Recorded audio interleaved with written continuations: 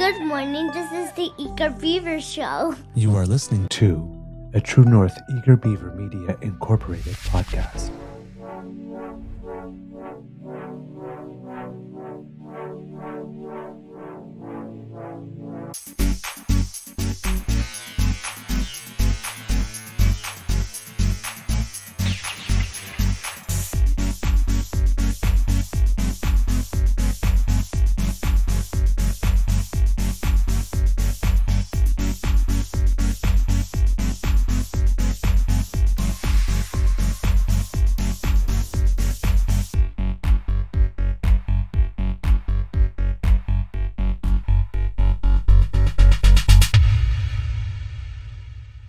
True North Eager Beaver podcasts are proudly brought to you by our founding sponsors The Misfit Mysteries from Corvid Moon Publishing, your source for science fiction, fantasy, and cozy mysteries featuring a broad diversity of characters.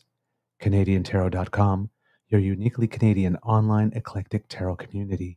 And The Peppermaster, hot pepper sauces made from farm fresh ingredients to thrill your taste buds and expand your mind.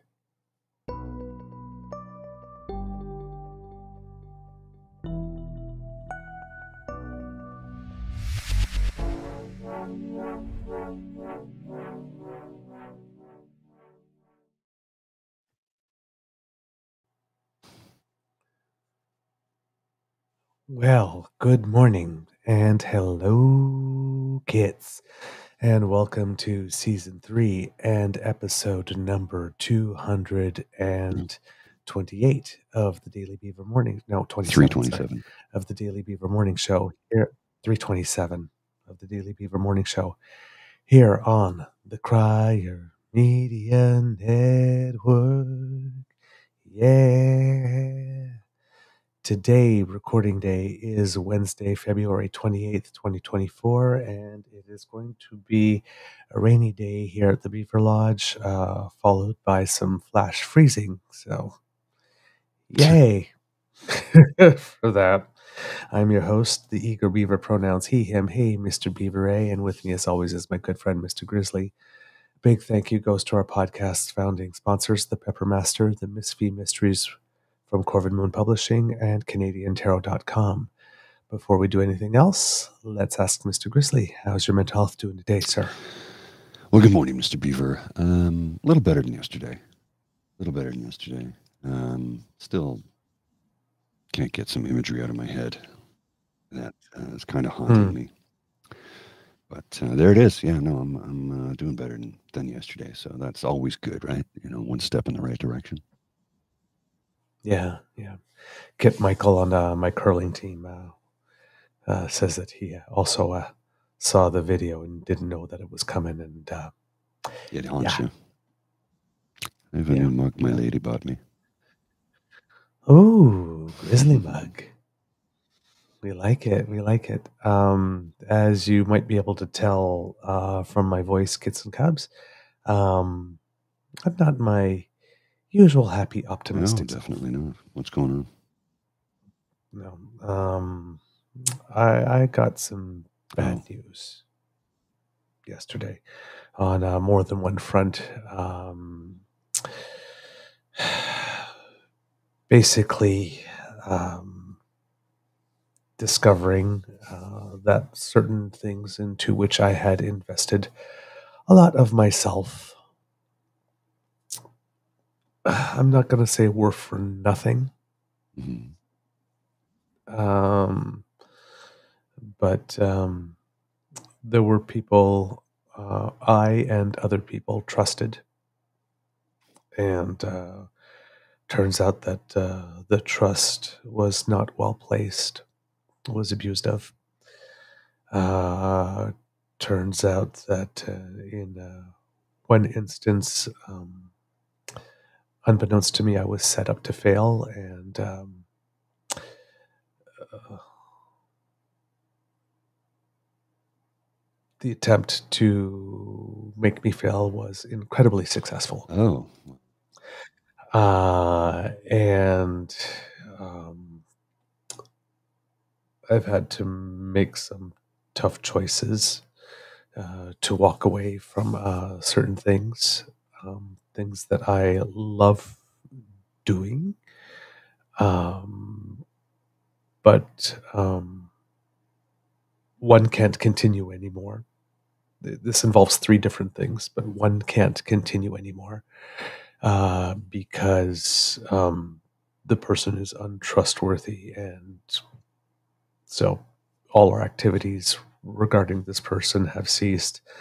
Uh, another one um, is someone that I was going to be called upon to work with Okay. a lot in the coming uh, months and years. And um, that person is uh, not trustworthy Sorry to hear that. at all and uh, would make uh, the work much harder to do. So even though it's work that I want to do, I'm going to have to step away from it because that person is not going away and there's not room for both Mm. of us. And I'm just not attached to it enough to fight for it. There are things that you do because you love to do them. There are things that you do because you know it's not that you really love or not love to do them, but you're in a position to help and you've got the time, so Mhm. you do. Um, so I'm not attached to this thing. It's something I was asked to do and that I enjoy doing, that I like doing, and you know, so long as people think that I'm being helpful and contributing something. But if somebody wants to stand in the exact same spot that I'm standing, um, even though I'm already occupying the spot, it's like, can you not feel my feet under your Clearly feet not. because I'm standing here? Oh, don't you really want to stand? Okay. Um, I'm if I'm really attached to it, then I fight for it, and if I'm not, then I'm fine. There's other places I can stand. You can have this spot. So it's sort of one of those situations, and um, so there were there were some projects into which I've invested myself that were uh, starting to get to a point uh, where they could start taking off, and um, I will not be the one to see them through. Somebody's trying to take Uh, credit for your work. No, no, not take credit for my work, but it's just uh, somebody wants to be involved in the similar things that I want to do, and uh, I'm very open to it. But it seems that there's a personality conflict, and I cannot work with someone, especially in a volunteer capacity, um, that uh, just wants to do their own thing that will defy me and who has shown um, may not um, may forget to do certain things and uh, by forgetting to do certain things makes it look like i'm the one that's incompetent or You've been sabotaged. or yeah i've been sabotaged That's what it boils down to. By somebody who is uh, so a lesser individual who needs to grow the fuck up. So yeah, uh, and uh, unfortunately, uh, I've been Mhm. ruminating That's never healthy. about uh, yeah a lot of things, and uh, I'm trying to find graceful exits out of things that don't make me look like somebody who's just dropping stuff or just wants to run away. Uh, but that's literally all I want to do. I just want to drop the stuff and say, "Your problem." Well. Good luck with that. Make decision and Uh, stick with and- it and and don't just- look back. Yeah, well, that that's what I'm doing, but um, I also believe in good endings. Uh, so there's part of me that wants to uh, torch every bridge and go out in a blaze of glory, but there's um, uh, nothing about being reckless in that kind of way that's going to ultimately make me look good. I understand. So, um, yeah, and I know that I'm speaking I'm speaking cryptically because there are other people's reputations on the line, and uh, I'm uh, yeah. Even though my reputation was attacked, I do not want to, to respond in kind, uh, because you always end up looking like the one who's bitter. But uh, I, I, I am sad. I am angry. I am a little despondent. Uh, I've been sabotaged and fleeced, and some of it was just some plain old dumb bad luck uh, as well. But uh, yeah, my my good nature was taken advantage of, and um, just a lot of hard truths were revealed yesterday. So I'm um, I'm not particularly motivated to do the things that I need to do today because I'm uh, I'm sad. Well, that's a big part of life. Some days is sadness. So that's when you got to lick your wounds, pack it up, and get the fuck on with life because you know what? It's just how it is. I know that sounds harsh, but that's what it boils down to. Well, that's the thing, right? Um, uh, deadlines don't care about No, your they do feelings, not. and the world doesn't No. stop for. As Reba McEntire sang, "The world doesn't stop for my Nope. broken heart." But um, yeah, my my heart's broken a bit today. Tomorrow's another day. The sun will Um, shine. So, yeah, yeah. So um, uh, I will try to do the best show I can, kids. Uh, I apologize uh, if I'm not um, my usual self.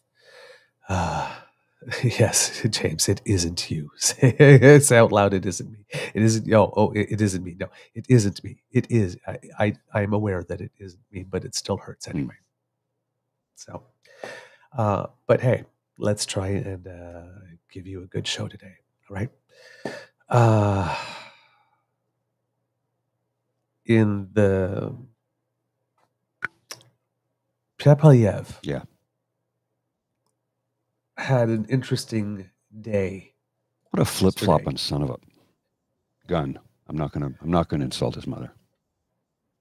But what a Yeah. flip flopper. Holy Uh, really, jumping Judas Priest. yeah, really uh, big time. I have the video. flopper.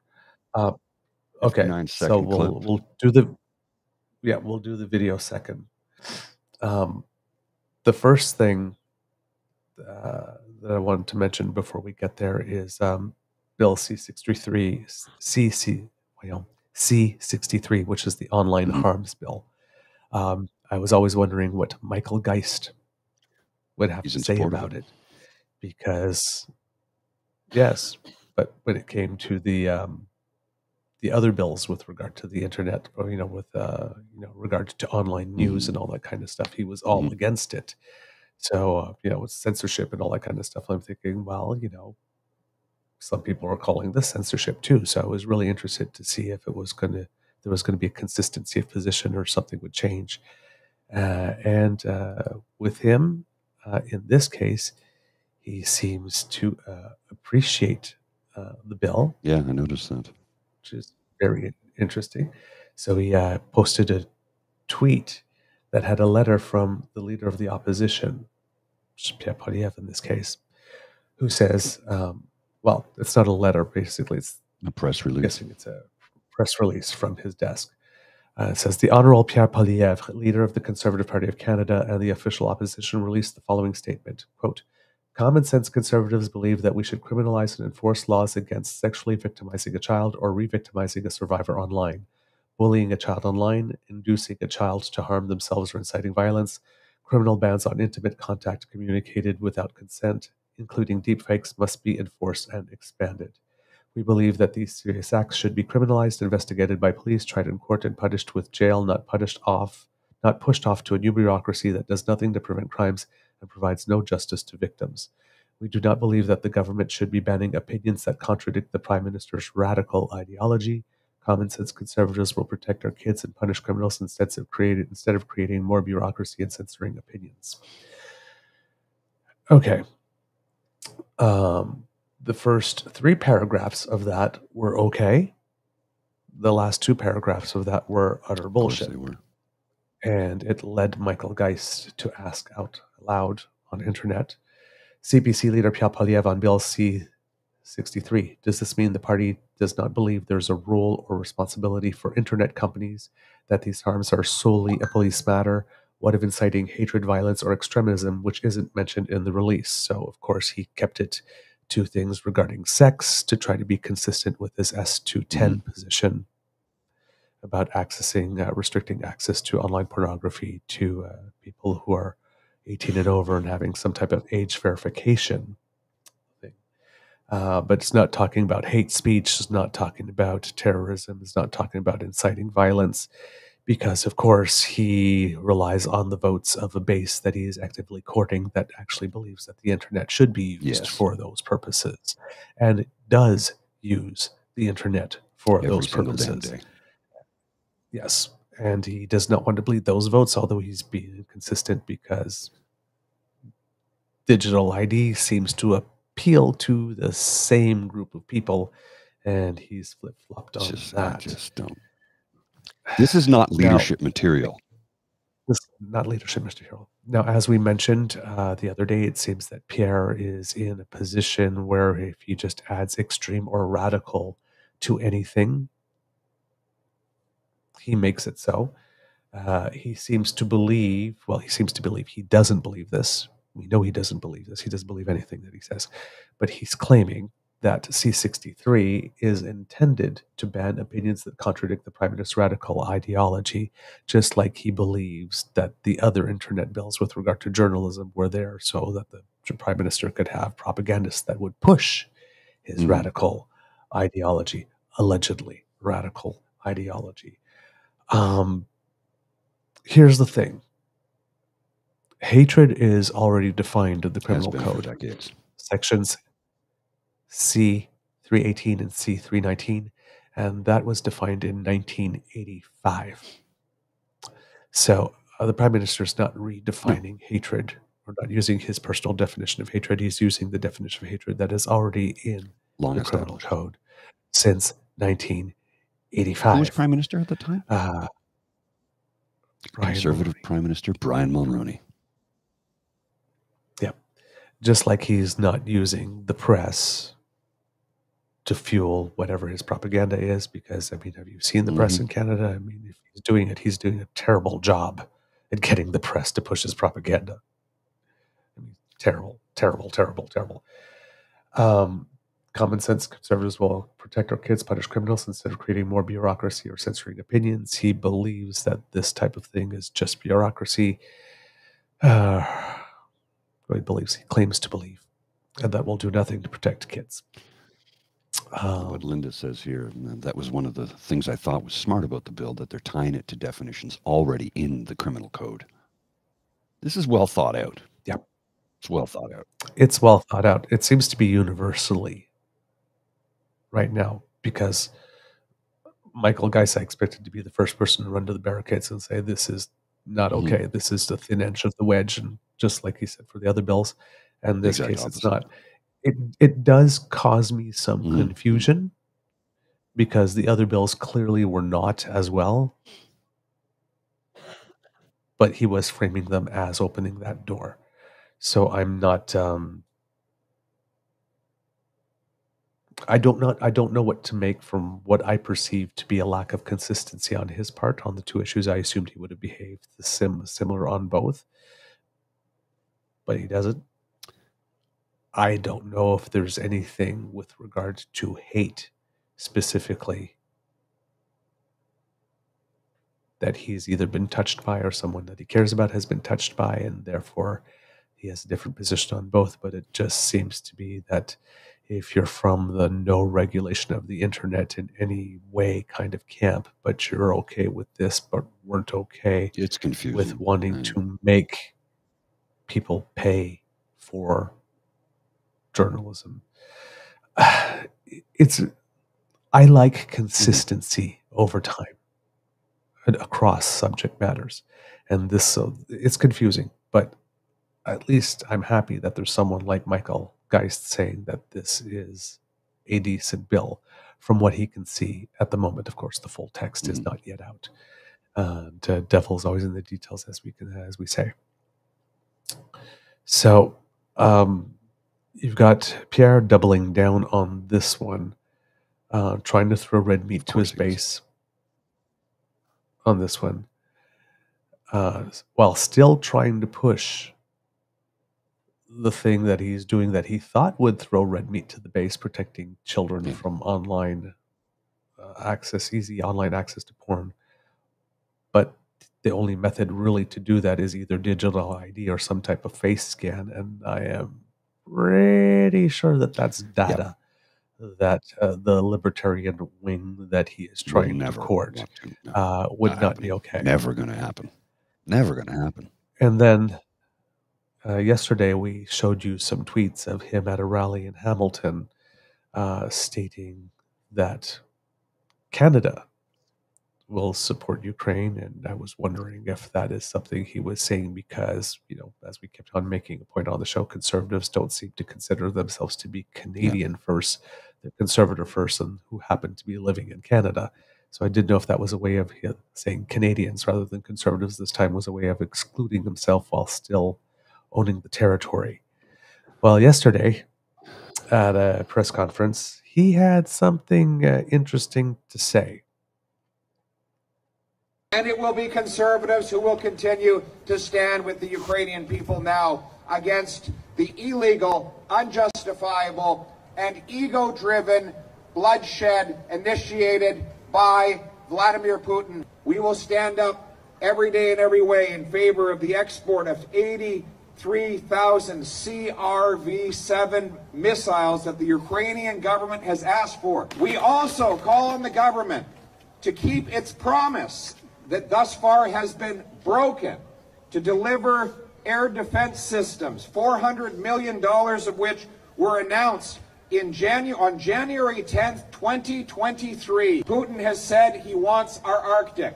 We know that once he defeats one country that he invades, he will move on to the next. His appetite for expansionism is insatiable. We stand with you now and always, Slava Ukraini. And it will be conservatives Okay.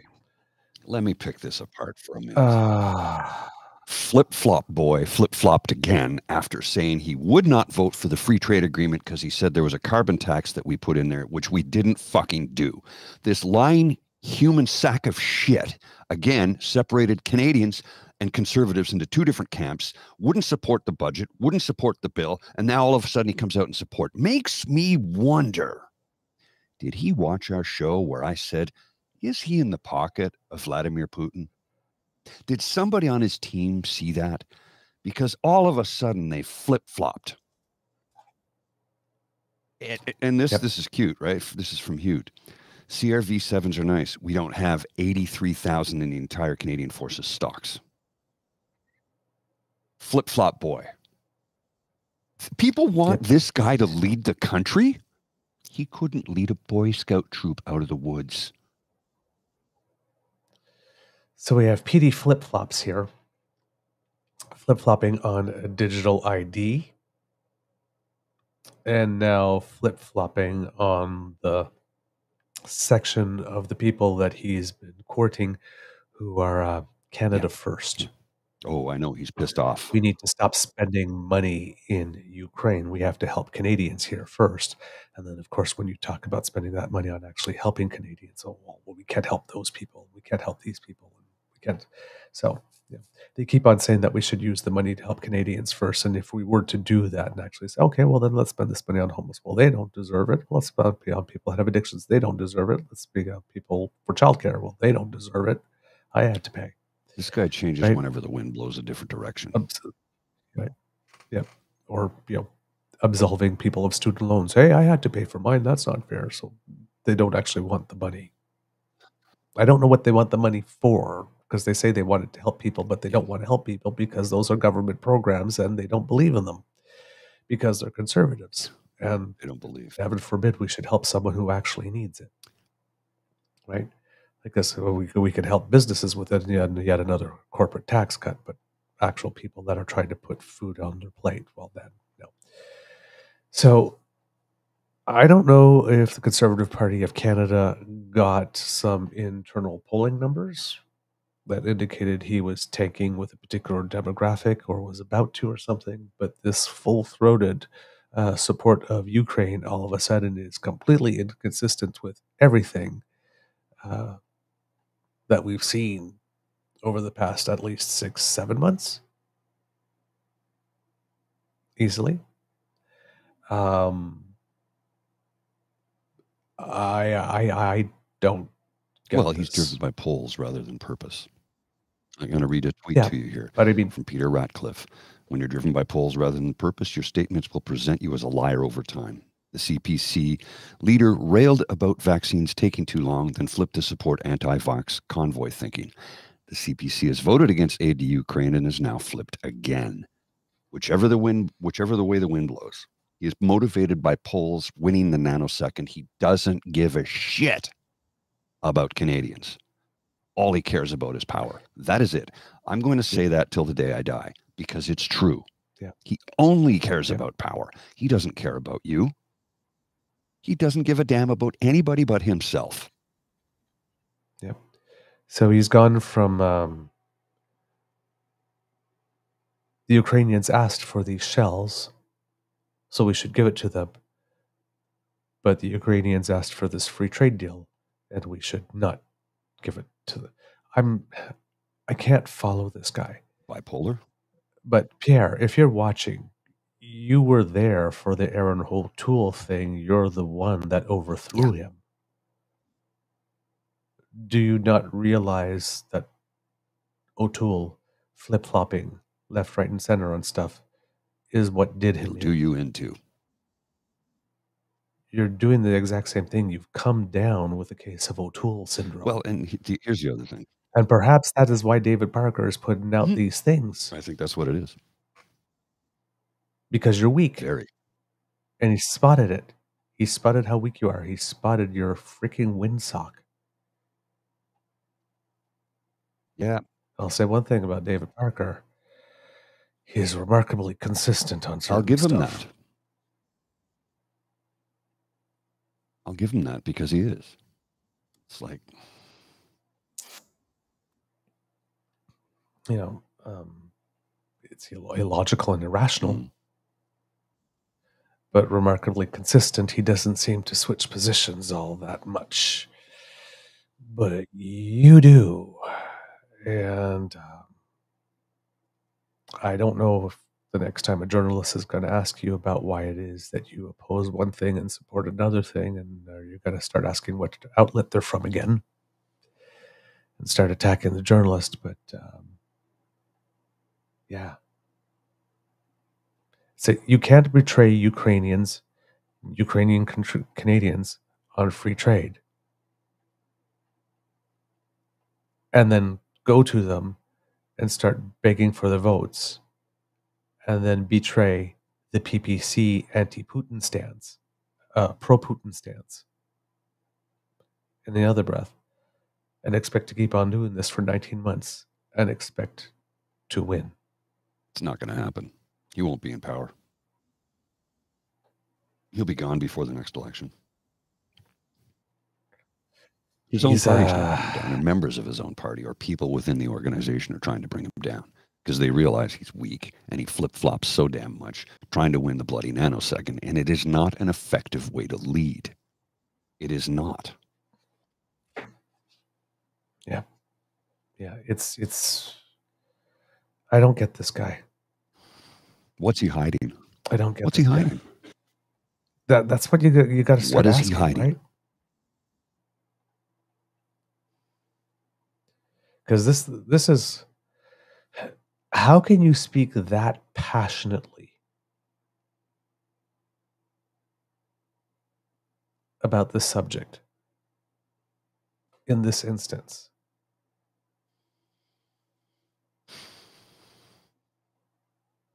While in everything else that you do, you seem to be pushing propaganda from the Kremlin and using the ta- the same tactics. I just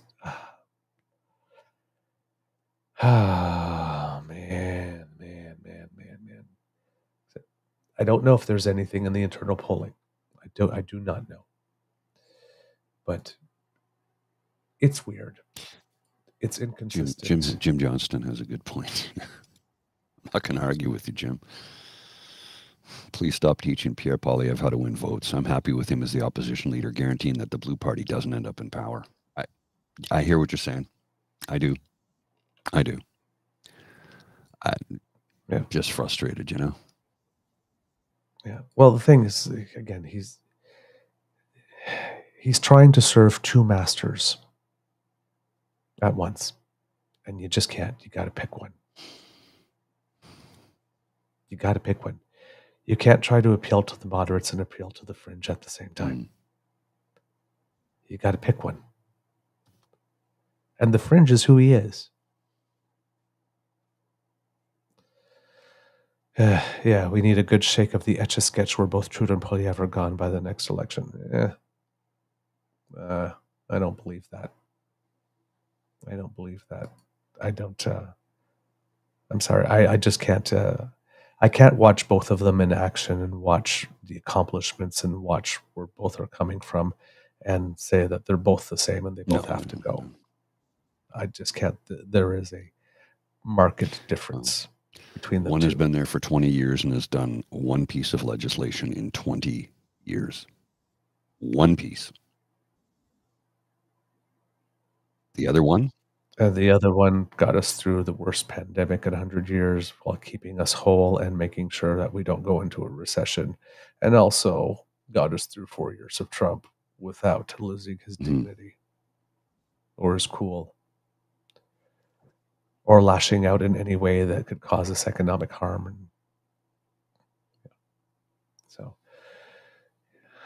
now we've got this other uh, clip yesterday from Danielle Smith. Of Danielle Smith. This is from the breakdown from Nate. And Yeah. uh, check this out. This is And, uh, interesting. Yeah.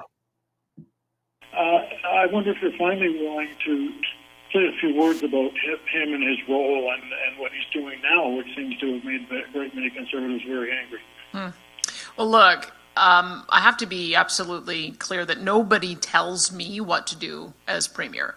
The, the people I take my marching orders from are Albertans. Every decision that I make is done through the lens of what is best for Albertans. Now, I, I consult widely, absolutely, but I don't take the advice of every single person that I speak to.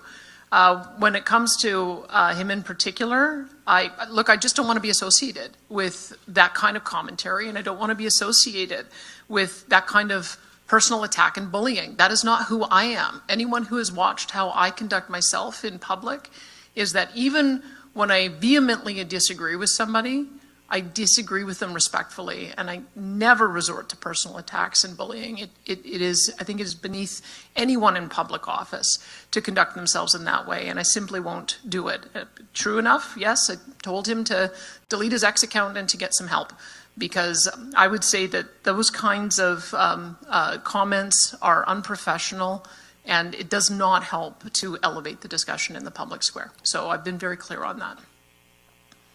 There's a, it, it seems sometimes, and, and, and Mr. Parker says much the same thing. He says he, says he's not your boss and you're not his boss. That's for sure. Uh, but then I see that on March 23rd he's going to be appearing with uh, Devin Dreeshen, your minister, at a policy conference. I wonder if you, you will still be collaborating with him. You've been friends with him. You went to his wedding. Uh, are you going to cut him off completely, Premier, or, or how's that going to work? Well, you'll have to talk to Minister Dreeshen. I understand he was invited to some discussion about um, um, municipal politics. Um, I don't know that he's going to attend. You'll have to ask him if he's planning to attend. But look, as I've said, I, I talk uh, broadly and widely with a wide range of people. I consult on a a whole variety of issues to be able to do what's best for Albertans. And I'm going to continue to consult widely on issues, but I've made it very clear. I want nothing to do with any kind of comments that are personal of nature, um, that are that are attacking in nature, and that are bullying nature. I, we, we just shouldn't be putting up with that in the public square. Okay. So much bullshit. So much bullshit. Okay. First of all, I don't take order. From who else do you take orders? Because 2024 Danielle Smith is way different than 2014 Danielle Smith. 2014 Danielle Smith was in the legislature talking about transgender and gay people and how they should have access to gay straight alliances.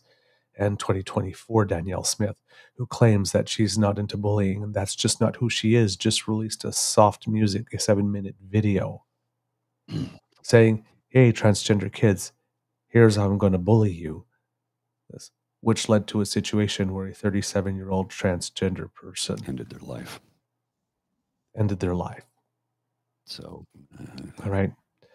Um, you know, doesn't denounce him fully because doesn't say no, he's not invited to that event. Oh, you'll have to talk to the minister. It's like you're the damn premier. If you don't want him to be at that event, you can tell your minister that you don't want him at that damn event to make it happen. Um, you know what? I just I can't with her. She won't say his name. She won't say his name. mhm. Got the four girls from Destiny's Child going, say his name, say his name. Um,